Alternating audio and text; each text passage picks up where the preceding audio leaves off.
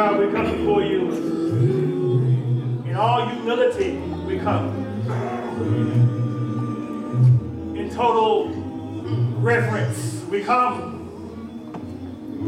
With the heart of thanksgiving, we come. In all humility, we come. In a reverential awe of your majesty, might, splendor, and glory, we come acknowledging that when we see the splendor and the brilliance of your holiness, we come before you confessing that we are undone.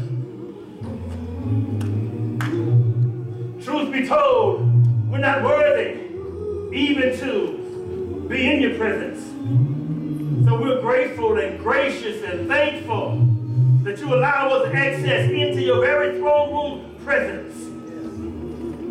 Not based upon our goodness, not based upon our personal performance, but based upon the finished work of Jesus, the righteousness of Jesus, uh, the love and commitment of Jesus, we're able to stand before you.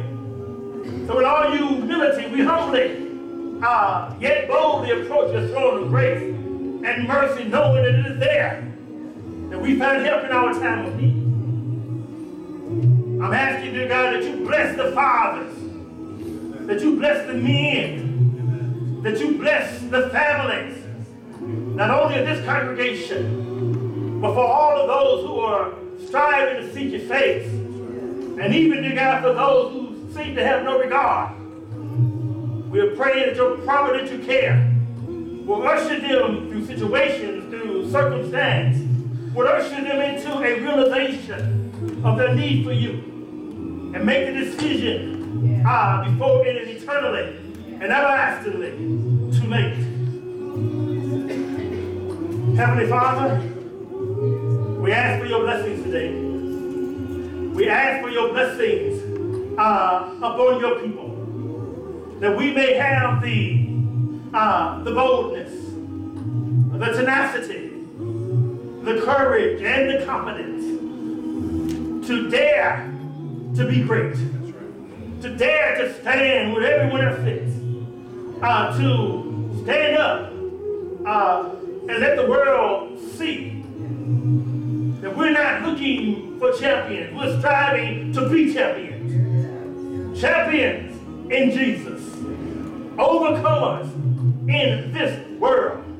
Are those who remain steadfast and unmovable, forever pursuing to uh, increase in our faithfulness.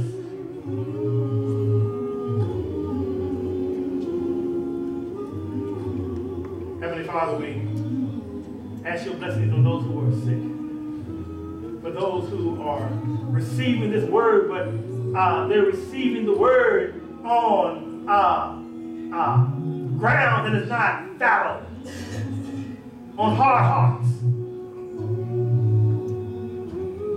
Soften their hearts that the word may find a hiding place uh, in good soil, that it may germinate, that it may grow and manifest itself uh, through them entering into a right relationship with you through your Son, Jesus Christ. We're praying for this congregation that we will understand that we glorify you as we serve others so help us to get outside and beyond ourselves.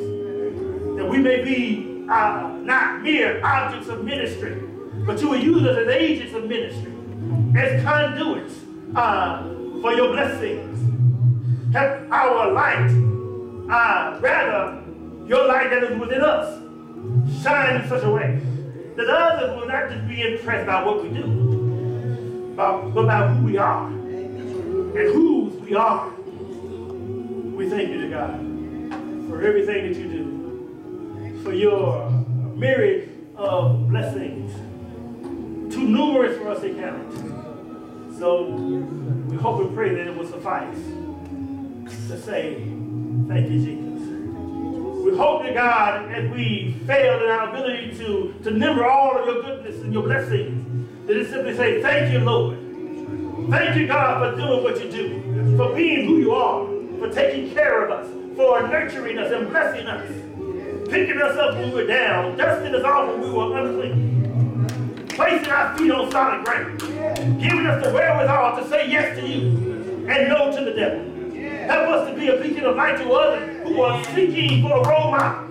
Help them to see the champion in us as we solidify our walk in you. In Jesus' name we pray. Amen. Bless you. You may be seated today.